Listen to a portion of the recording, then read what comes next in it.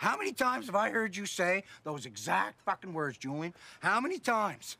Do you guys know what the definition of insanity is? Do you know what it is? It's doing the same thing over and over again, expecting a different result. I know, but it's gonna be different this time. It could be anyway. Yeah, this time we're gonna get results, man. That's right.